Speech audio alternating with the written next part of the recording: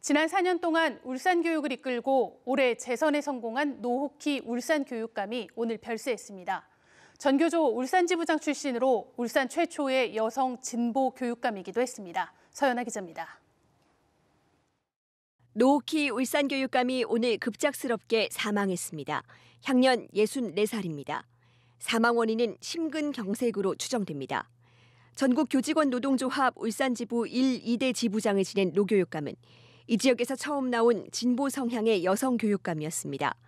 노 교육감은 지난 2018년 지방선거에 처음 출마해 청렴한 울산 교육을 강조했고 임기 시작 직후에는 원스트라이크 아웃제 도입 등 부패 근절 정책을 실시했습니다.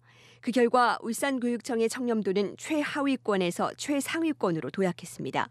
또 하나에도 포기하지 않는 울산교육을 내걸고 고교 전면 무상급식과 초등학교 입학 준비금 지원 정책을 펴 교육 복지 수준을 끌어올렸다는 평가도 받습니다. 올해 보수 성향 김주홍 후보와의 양자 대결에서 승리해 재선에 성공한 노교육감은 맞춤형 교육과 복지를 공약했습니다.